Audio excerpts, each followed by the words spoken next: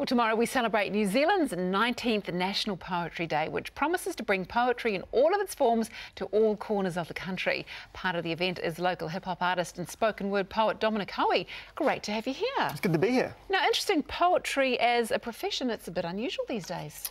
Yeah, I guess on paper, but um, I don't know, it just kind of took off. I was rapping at the same time, and then the poetry weirdly became more popular, and I was like, oh, I guess I go down that road. Now, I, I, guess the thing with your poems too is that they can be quite controversial, so you use them for good as well to make yeah. statements. Is yeah. that part of you know? You, you, I guess your, your genre. Yeah, I, more and more. Um, I guess the political stuff has started to take off because I write a lot of love poems too. Really? People okay. seem to be more um, interested in the political hey, ones. I like love poems. love poem. Yeah, so I like love poems too. That's my preferred genre. But um, I guess it's quite a direct way to say something. Mm. Do you know what I mean? Yeah, no, and it was interesting, you know, because I, when you're in the room, I wanted to run out on the street. I wanted to catch a bus because there's something about your mana that makes me nervous. So, you know, really? I was, I was, yeah. I, know, I was just trying a little poem there. Did oh, you pick it up? Yeah, yeah, nice. Thank you. Yeah, thank you. Super average, I thought. But it's okay. it's okay when we've got the expert in the room with no, us. No, that's right. No, no, no, but, but there is, you know, because I, I, read a lot about you and I've heard a few of your podcasts too over the years. Oh, and, oh, cool. Um, and I'm like, oh, well, okay, I, I respect what you do, but I guess I get nervous when I'm near you for some unknown reason reason. It's like I'm really worried you're going to oh, bust out of Isn't it? Actually, maybe it's because you know you, you, your name, this Tourette's part of the thing. I mean, yeah. how did all that come about? Because when I've said Tourette's coming on, I thought, okay, this is going to be an interesting show for nine o'clock in the morning on a Thursday.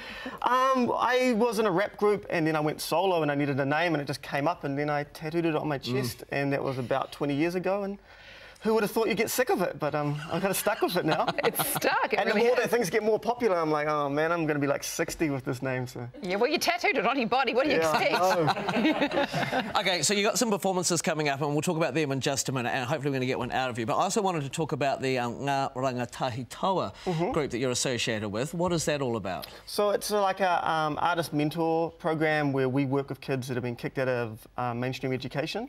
Um, well, I say kids, but you know, people between the ages of about 13 to 17. And um, I work with them on poetry and hip hop, and but it's also sort of like showing love and support yeah. and trying to engage them to sort of transition into either back into education or maybe into work. That's awesome. And you brought Bradley in with you I have brought Bradley. Yeah, this is my new mentee. No, and what awesome. made you want to do that? Um, well, I guess with poetry, it can be kind of like quite narcissistic, like any art, and so it's right. nice to give back. And also, I've learned all this stuff, so it's really nice to actually share it. That's a great you know? attitude. I love that attitude. Mm. So, are you going to do something for us now? I have. I've got a bunch of little poems that I thought I'd do. That'd be great. Okay, I'd love awesome. This. Nice, yeah. I'm excited. Okay, here we go. This one's called Friday Night.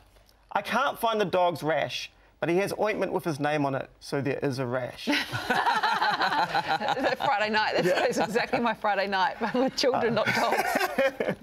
okay, I stole the baby Jesus. When the poor are all moved to Ashburton and the artists are all brought and the city's a glorified strip mall, every night it will be like Christmas Eve on Franklin Road. Ooh. Here we go. You like that one? Yeah. yeah. just one last one. Okay. okay. One last one. This one's called I Can't Light a Fire, but I Can Write You an Awesome Poem About Lighting a Fire. The like artists went to the beach. They had to catch the bus because neither of them could drive.